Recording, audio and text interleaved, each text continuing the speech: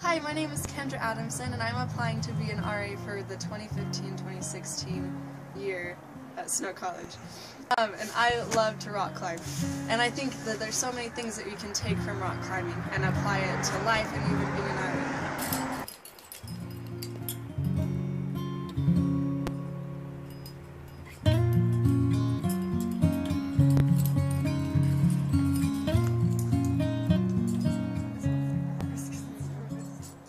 So in rock climbing, when you're leading a route, you're making it so that people will be able to follow you safely.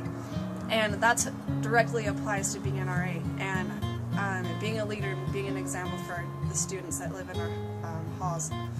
Um, it's really important to set that example and to be um, just a person for them to look at if they need help or if they need to know what to do. Being a leader is a crucial aspect of being an RA. Our residents need someone who understands what they're going through, someone who has had similar experiences to them so that they can look to them for guidance. When you lead a route, that experience enables you to help others climb that same wall. And while not everybody has the same exact experience, we each bring our own knowledge and life experiences to the table that might help someone else with what they're going through.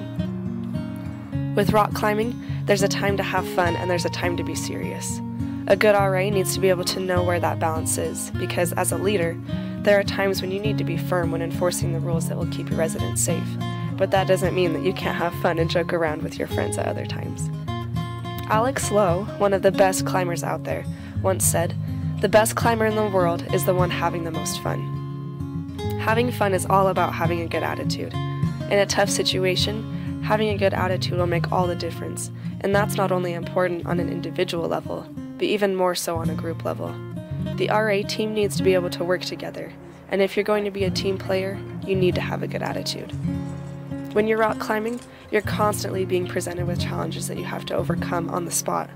As an RA, you never know what will be thrown at you, and you need to be able to think fast and be ready to act.